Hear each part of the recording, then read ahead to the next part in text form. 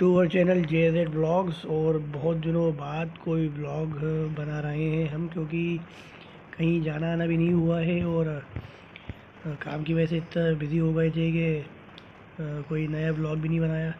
तो अभी हम जा रहे हैं दाहोद डैम गाँव में, अपने खेत पे।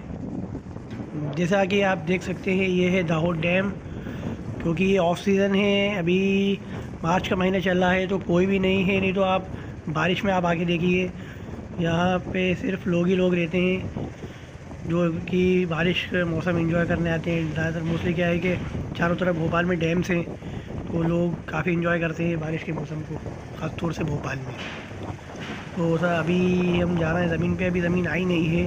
पहले दाऊद डैम पड़ता है उसके बाद में अपनी ज़मीन आती है। तो बने रहिए हमारे साथ।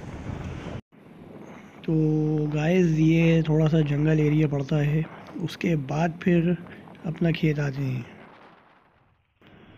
तो गाइस जैसे कि आप देख सकते हैं कि अपन पहुँच चुके हैं अपनी असल लोकेशन पे, जो मेन लोकेशन है अपनी। और ये लोकेशन बहुत खूबसूरत लोकेशन है, क्योंकि ये लोकेशन और ये फार्म हाउस बिल्कुल जंगलों के बीच बसा हुआ है। उसका व्यू बहुत खूबसूरत है। और इसका मेन है कि इसमें घोड़े पले हुए हैं। तो एक और बेटर है तो गाइस ये है इनका घोड़ा।